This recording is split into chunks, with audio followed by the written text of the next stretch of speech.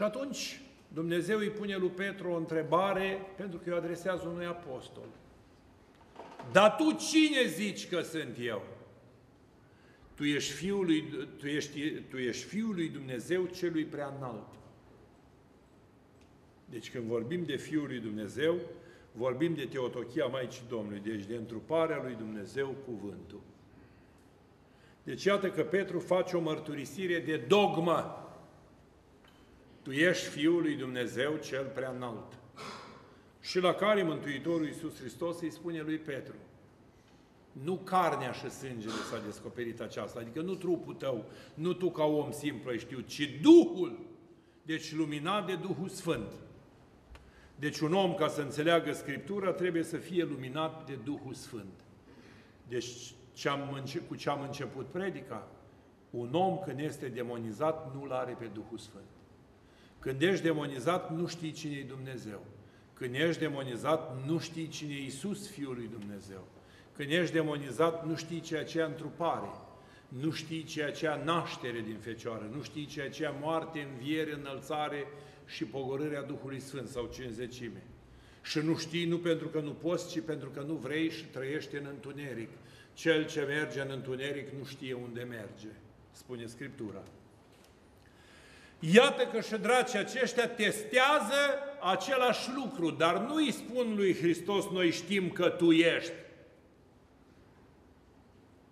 Ce ai Tu cu noi, Iisuse, Fiul lui Dumnezeu? Aveau nevoie de un răspuns la fel de viclean ca cel din grădina Raiului, de la pomul vieții, atunci când era interdicție peste bine și rău, la celălalt pom. Și ce spune diavolul? Vorbește cu cuvintele lui Dumnezeu, pentru că a fost înger. Spune Părintele Petroniu Tănase în uh, teologia pe care dumnealui o expune, că dracu este un prost. Și așa este. Este un viclean. Și așa este. Este un mincinos. Și așa este. Nu știe adevăruri de dogmă. Nici în rai n-a știut adevăruri de dogmă, dar i-a spus lui Adam atât. A zis Dumnezeu că dacă veți mânca, veți muri. Deci a repetat expresia lui Dumnezeu în tocmai, dar cu o altă conotație. Dacă ne ducem la oracolul din Delphi, depinde cum pui. Întrebarea, ea sună așa. Oare vei trăi? Sau poți să spui, oare vei trăi? Oare vei muri? Oare vei muri? Oare vei birui? Oare vei birui? Deci vedeți cum schimbă sensul? O simplă accentuare. Așa și diavolul. Diavolul a venit la Gadara și s-a adresat lui Hristos în ideea de a-l arunca în mândrie. El a spus, n-am venit să fac voia mea, ci voia celui care m-a trimis. Împărăția mea nu-i din lumea aceasta, mâncarea mea nu-i din lumea aceasta. Tatăl meu lucrează până acum și eu lucrez, deci sunt în supunere. Eu nu sunt nimic pe pământ, sunt un rob, sunt o slugă. Am venit să-l rădic pe om la cinstea de împărat. Și tace. Că iată dracu ce spune mai departe. Cu câtă teologie îl întâmpină pe Hristos. Ce ai cu noi, Iisuse, Fiul lui Dumnezeu? Că-i pus semnul întrebării după expresie. Nu-i pus semnul exclamării. Adică ești cumva Fiul lui Dumnezeu? Vrea răspunsul de la Isus. Ai venit aici mai înainte de vreme ca să ne chinuiești? Adică ce vrea să, se, ce vrea să simbolizeze diavolul? Un fel de apocalipsă te-ai întrupat ca să ne pedepsești, dar n-a îndrăznit să-i spună că este Dumnezeu, ci l-a luat pe ocolite. Iisus Hristos, într-un cuvânt, ca să spunem așa în termenii populari, nu se lasă sub vrăjeala demonului, așa cum s-a lăsat Adam și Eva în grădina Raiului. Spune mai departe Evanghelia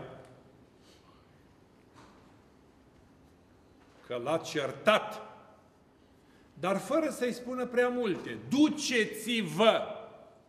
Iată ce răspuns scurt dă Iisus la o asemenea întrebare teologică la asemenea întrebare ipotetică, pentru că noi toți așteptăm o apocalipsă. Deci, așteptarea apocalipsei, sau dacă vreți, isteria apocalipsei, dacă vreți, uh, dezvoltarea acestei teme în mod rațional, sub raționament teologic, nu sub duh teologic, este de fapt tot o forțare a voii lui Dumnezeu. Sunt trei forme de a veni Apocalipsa.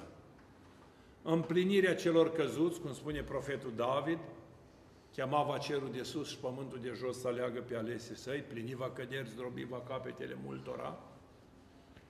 De fața mâniei lui pământul îți va topi ca ceara, munțe vor curge ca ceara, pădurile vor arde ca fânul. Iarăși, un, iarăși o sinteză apocaliptică.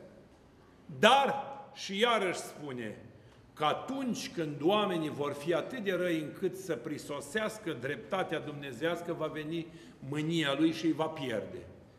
Se pare că această mânie nu reușește să copleșească bunătatea lui Dumnezeu, fiindcă Ioan Damaschinu ne spune așa, Dumnezeu le poate toate câte le vrea, dar nu le face toate câte le poate, pentru că iubește lumea și nu o pierde și urăște doar păcatul. Stârpește din când în când izvoare de păcat. Deci când auzi că crapă unul de ăsta necredincios care făcea multe rele, el este deja o piedică în calea echilibrului Duhului Sfânt și Duhul Sfânt îl șterge. Luave Duhul tău și se vor sfârși, spune tot psalmistul. Sau o altă formă de a grăbi Apocalipsa înseamnă bunătatea întregii omeniri pentru completarea cât mai rapidă a îngerilor căzuți. Cât dinspre prisma, dinspre prisma asta a calculării îngerilor căzuți rămâne de văzut și țin de părere cu ceea ce spunea și Părintele Cleopa, că dracii au căzut după profetul Isaia a treia parte din stelele cerului. Și dacă în cer ne arată profetul Ezechiel și Daniel că sunt miriade și miriade, nu miliarde, miriade, sunt niște forme galaxice de îngeri nenumărabile.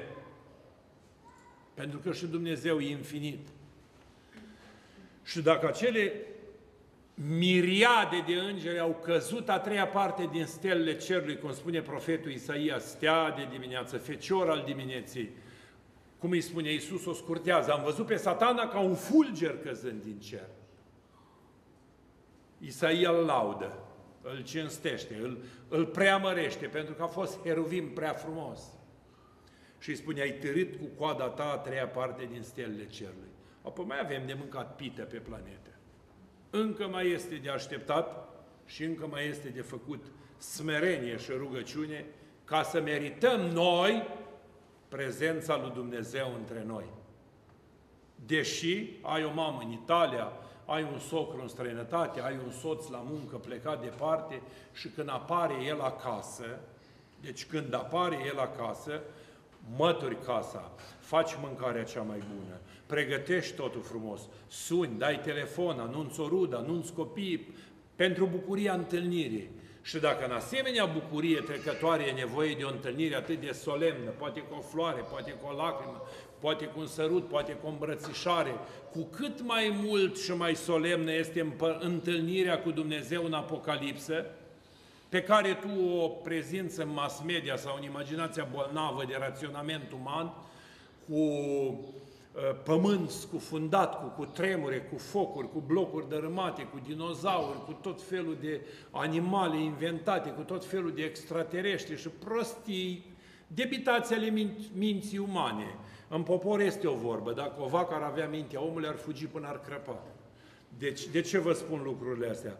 ca să înțelegeți că Apocalipsa este un act tainic divin în care Dumnezeu a spus cu atâta seninătate și bucurie, pace vouă, iată, eu vin curând. Și când se urca la cer și se înălța, chiar îngerii aceia care îl purtau pe norul acela luminos, deci puterea Duhului Sfânt, care îl ducea în, în nesfârșita putere și lucrarea Sfintei Treime acolo la tronul Tatălui, ce spun îngerii aceia? precum îl vedeți pe Fiul omului suindu-se, așa se va și coborâ. Ce s-a întâmplat la suirea lui Isus la cer? Apostolii s-au umplut în timp ce se urca îi binecuvânta și ei s-au umplut de bucurie multă și s-au întors în Ierusalim cu bucurie mare, spune Scriptura, cântând și lăudând pe Dumnezeu în toate zilele unde? În templu, că atunci pe vremea aia era templu, nu era catedrală și biserică. Întrebarea. Dacă ăsta este modul de care a lui Isus Hristos, în liniște și pace, mă duc să vă trimit mânghietorul, vine Duhul Sfânt, coboară în limba de foc, primim puterea Sfintei Trim, darul facerii de minuni, călcarea peste șerp, dobitoci, balauri, peste toate dobitoacele, tot ce-i vătămător de moarte, de veți bea, nimic nu vi se va întâmpla. Oare cum ați crede că Apocalipsa poate să fie un act haotic, emanat de mințile bolnave, că nu poți să le spui altfel, sau de lip, mințile lipsite de preocupare. Poți să scrii o carte despre Apocalipsă în următoarea formă. Te duci în pustie, trăiești cum trăiau Sfinții, cu mană dumnezească sau cu Sfânta Împărtășanie sau nimic nemâncând, hrăniți de darul Dumnezeu ca Marcu din muntele Fraces sau Marea Egipteanca în pustiul Iordanului. Intri în revelație divină ți se deschid ochii minții și vorbești cu îngerii lui Dumnezeu, cu apostolii, cu profeții, cu prorocii, vezi ce îți dictează ei, cum îi dicta Pavel lui Ioan Gură de Aur la urechea dreaptă, așa cum vedem capul și azi la Vatoped, în, în cutie de aur pus acolo întreg de 1500 de ani, și ai scris Apocalipsă. Când pui tu 666 pe toate pachetele de macaroane și de zahăr, și pui tu 666 pe toate cardurile și pui 666 pe toate izmenile și tot să vinde pe magazin în ideea de a impresiona și de a speria lumea, că știi că lumea e vulnerabilă. A, ce-o treabă. Diavolul este duh și diavolul este patimă. Păcatul te face rob, adevărul te face liber. Fugi de păcat, iubești pe Dumnezeu. Urăști păcatul, îl iubești pe Dumnezeu nu săvârșești păcatul, ești aproape de Dumnezeu. Deci astea sunt cele trei forme absolute a lui Maxim Mărturisitorul, nu le-am spus eu, ci sunt din uh, explicațiile Părintelui Petroniu, 666. Ori ești diavol absolut, ori ești înger absolut. Extrema și maxima. Calea din mijloc o deține Dumnezeu care a creat cerul și pământul, a venit și a îndumnezeit și a restaurat omul. Noi putem ține ori mulțimea faptelor bune și cum spune, unul a dăruit va, cu grâu, un spic a făcut 30, una 60, una 90, una 100. La rele la fel. Rafael, un mare arhimandrit rus, scrie o carte foarte frumoasă despre mistica păcatului. Așa cum te duci în dulceața cunoașterii Dumnezeirii, așa te duci și în dulceața cunoașterii demonice din patimă în patimă, din poftă în poftă, din păcat în păcat, până ajungi rob al păcatului, până ajungi la lupta în fire cu păcatul, până ajungi cu păcatul la a doua obișnuință, până ajungi cu păcatul la a doua fire, normalitatea din nici de a te mai mustra. Și lucrul ăsta îl trăim noi astăzi, vedeți, ai auzit pe cineva să-i fie rușinii că e curvar sau homosexual sau că avortează sau că înjură sau că fură sau că hulește? Nu. Legiferarea păcatului. Ați văzut, acum vor legi pentru fiecare patimă. Ei, asta arată că ai pe dracu în tine, nu cardul. Nu 666. Tu ești tot 666, din cap până în tălpi. Mintea i-ai dat-o dracului, trupul l-ai dat dracului, simțurile le-ai dat dracului și faptele tale le-ai dăruit diavolului și atunci ești demon de plin. Ăștia sunt demonizați, ați văzut. Cumpliți, nimeni nu putea să treacă pe acolo, stăteau în morminti, izolați de societate, vulnerabili, vicioși și în același timp și mincinoși. De ce vii mai înainte de vreme să ne chinuiești? Credea satana că va auzi din gura lui Dumnezeu când vine Apocalipsa. O șmecherie asta. Credea satana că îl poate determina pe Iisus Hristos să facă profeții. Iisus a spus,